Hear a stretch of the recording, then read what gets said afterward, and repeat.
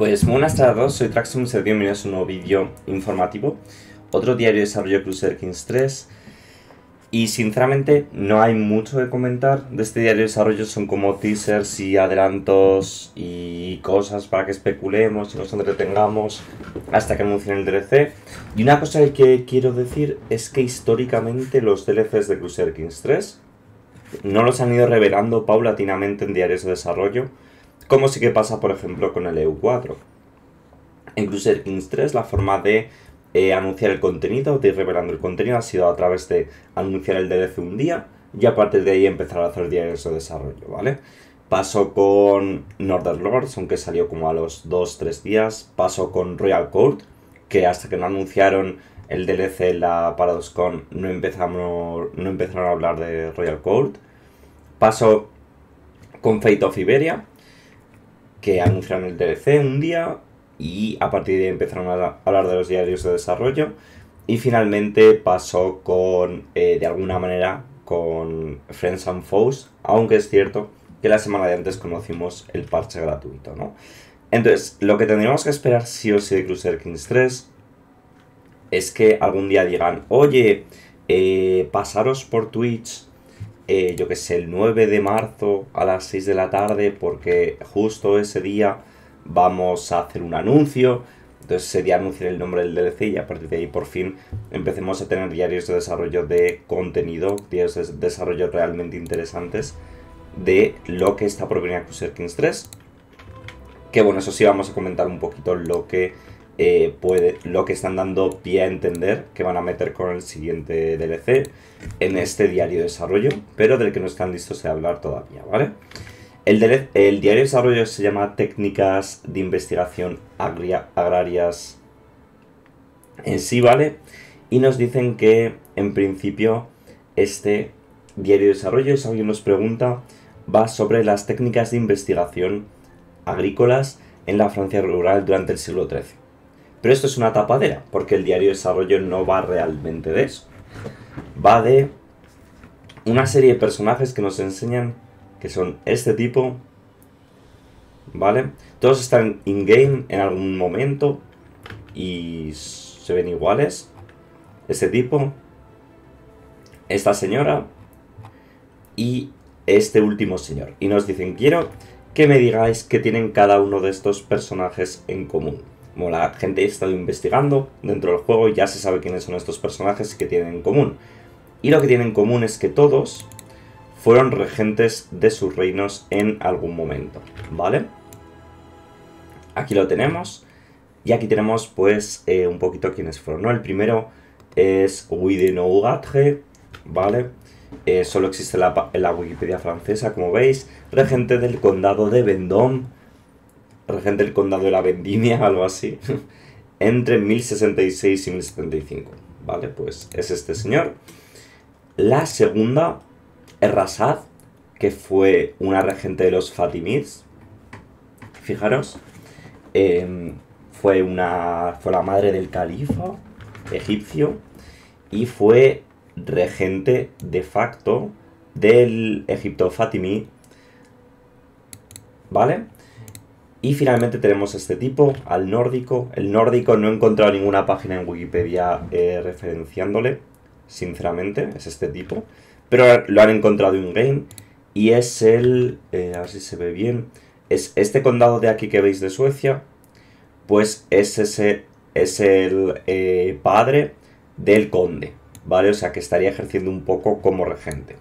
Y aparte, en cada una de las imágenes, otra cosita que se ve a ver si lo encuentro el diario. Otra cosita que se ve es que estos personajes están posando. ¿Sabéis cuando entráis al Cruiser Kings 3 con una partida cargada? O sea, que habéis jugado una partida recientemente y en la página de inicio del Cruiser Kings 3 no tienes lo de nueva partida, cargar partida, multijugador, etcétera, ajustes.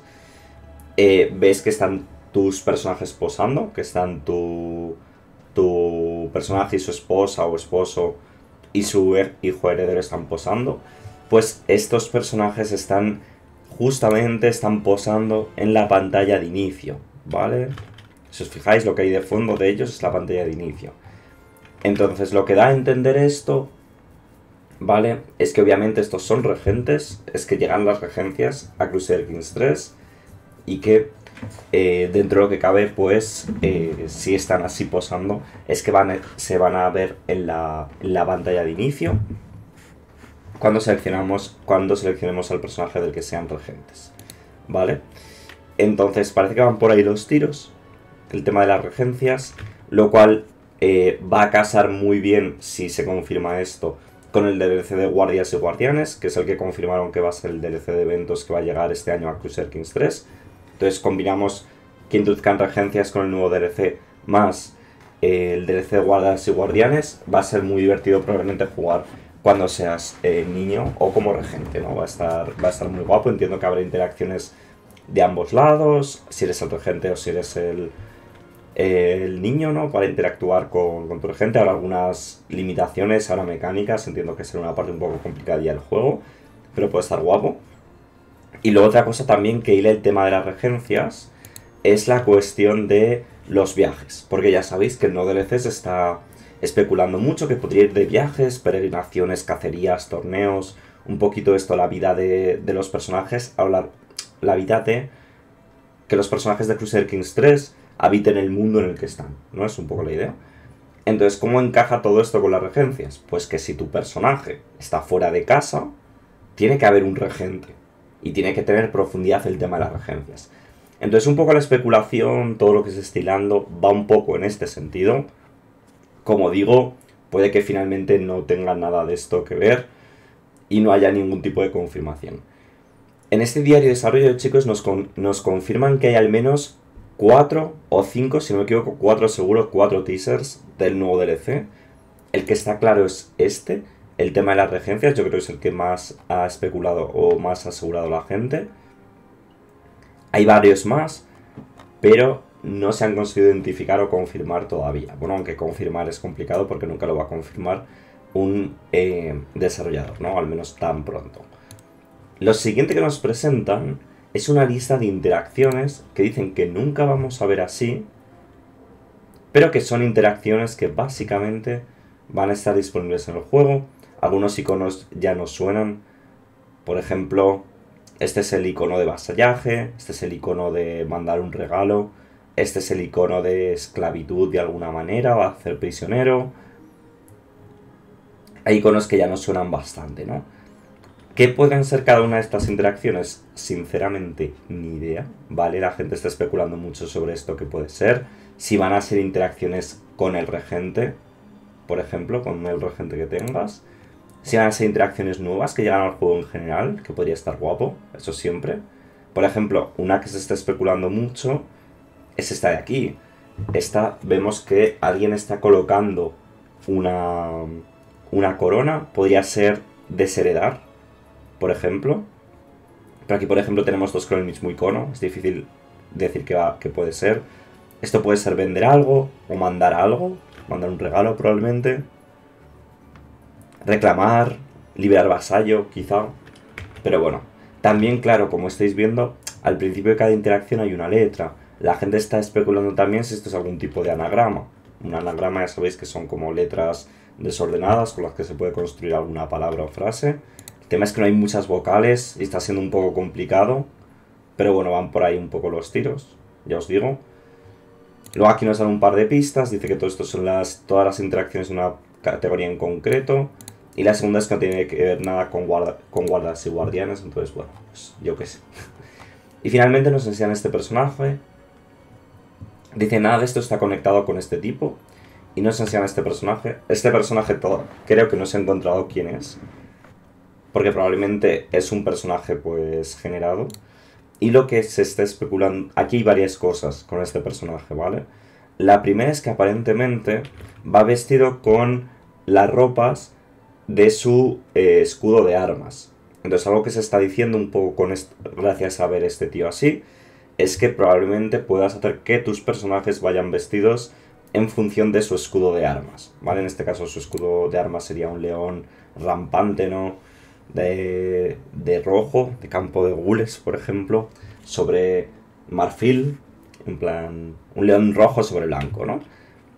Entonces, pues eso que fuera su escudo y al vestirse con su escudo pues va vestido a la guerra, que está bastante guay. Entonces bueno, eso es una idea. Y en segundo lugar, el fondo que tiene, con las jaulas para pájaros, no existe ahora mismo en el juego, ¿vale? Es un fondo que sería nuevo. Entonces eso pues que puede ser pues un fondo de algún evento nuevo. Probablemente quizá hay algún tipo de sala del trono nueva.